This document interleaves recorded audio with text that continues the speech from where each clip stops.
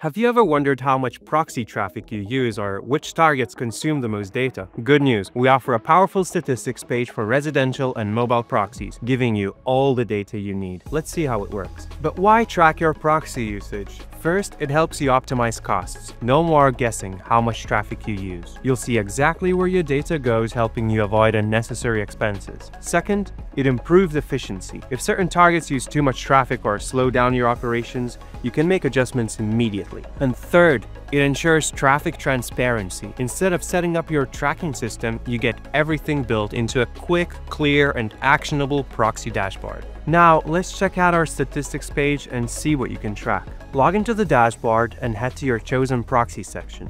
Then hit Statistics. By default, you'll see traffic usage. You can check, upload, and download data at the top of the graph. To get more precise insights, use the filters to get stats by location, user, target, and proxy protocol.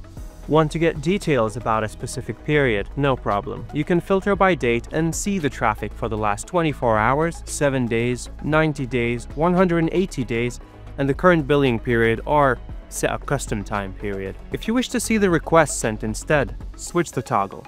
The graph now shows how many requests have been made in your chosen period. It is super helpful in tracking API calls and automation tasks. You can apply the same location, user, target, and protocol filters. Below the usage graph, you can see each date in the chosen period when you used proxies. In every row, there's a bandwidth usage split into upload and download columns. There is also the number of requests and an approximate spend value calculated on your current subscription rates.